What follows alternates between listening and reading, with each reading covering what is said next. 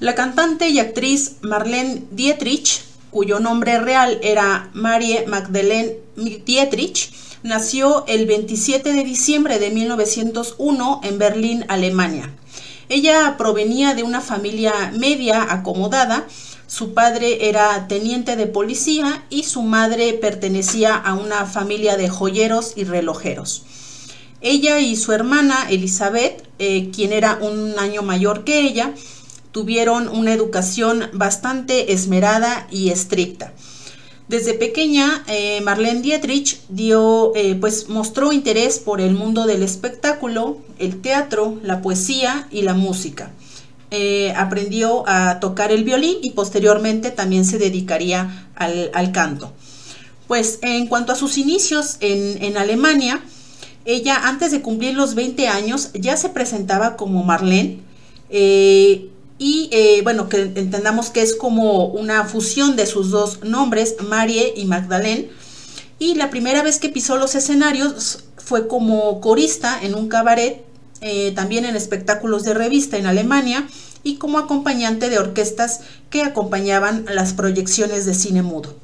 Después de ello, eh, tuvo varios empleos en centros nocturnos, eh, que plagaban el Berlín de aquel tiempo donde había eh, pues libertad sexual y el travestismo estaba en, auge, lo que marcaría sin duda el carácter y eh, la forma también de, de, comportarse y de vestirse de Marlene Dietrich. Desde, desde 1919 participó como extra en algunas películas, pero digamos que su debut oficial como actriz fue en 1923 con un pequeño papel en la película muda El pequeño Napoleón.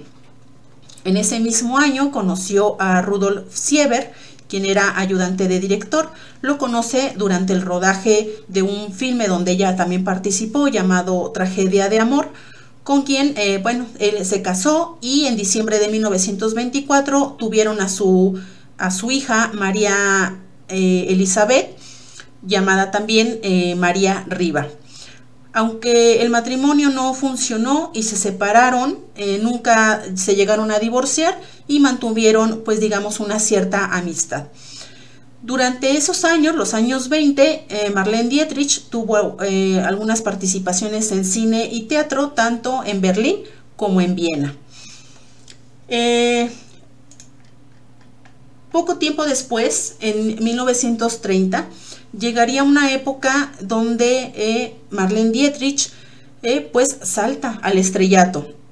Y esto fue con la película El Ángel Azul, película de 1930, dirigida por el austriaco Joseph von Sternberg y eh, considerada de hecho como la primera película importante del cine sonoro alemán.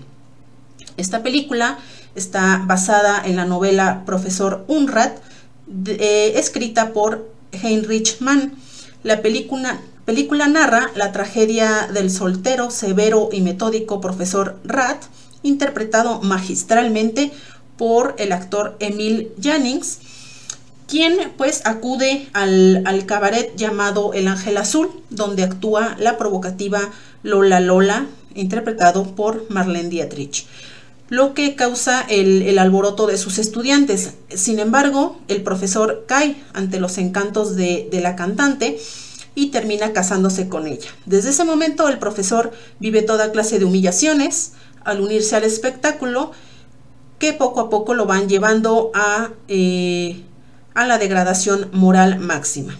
Aquí esta película fue bastante emblemática, les digo, no solamente eh, eh, por la actuación de Marlene Dietrich, sino también por ser eh, una, película importante del cine alemán eh, sonoro.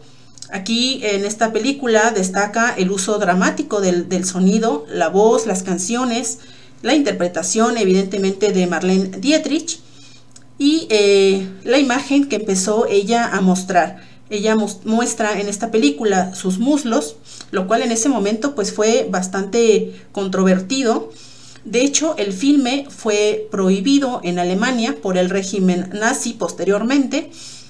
Y bueno, eh, se construyó en torno a esta actriz, pues el, mito de la diva, que la acompañaría en la mayor parte de, su carrera.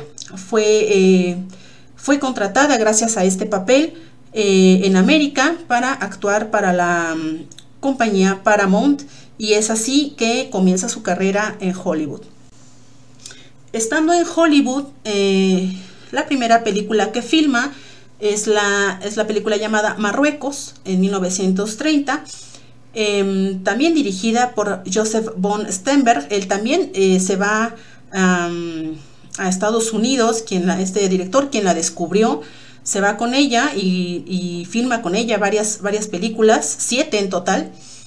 Y bueno, esta película de Marruecos eh, narra el triángulo amoroso entre un legionario francés, interpretado por Gary Cooper, una artista mundana, interpretado por Dietrich, y su protector y admirador incondicional, Adolf Menju, en ese papel. Esto ocurre durante la guerra de Rif. Esta película causó eh, mucho revuelo, especialmente por la escena en la que Marlene Dietrich eh, está vestida de frac y besa a otra mujer. Durante los años 30 filmaría otros cinco filmes eh, con Stenberg. Uno de ellos es Fatalidad de 1931, Después El Expreso de Shanghái de 1932, La Venus Rubia de 1932 también, Capricho Imperial de 1934 y El Diablo era Mujer del 35. Eh, gracias a estas películas con, el director, con Stenberg, pues ella reforzó su papel de, de Femme Fatal eh, había un sumo cuidado en torno a ella en cuanto a, los peinados, el maquillaje, el vestuario, las luces, los encuadres, todo ello para su, lucimiento y que quedara pues muy bien definida la imagen de esta femme fatal en, la, pues, en el cine y así sucedió.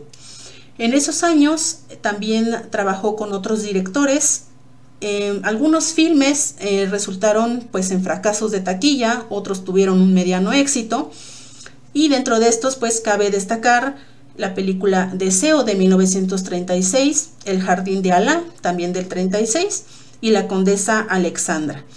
Ella, eh, debido a este, este, estos fracasos que, resultaron de estas películas, pues ganó el apodo de Veneno para la taquilla que de hecho también se les, se les impuso ese apodo a, varias actrices de la, de la época.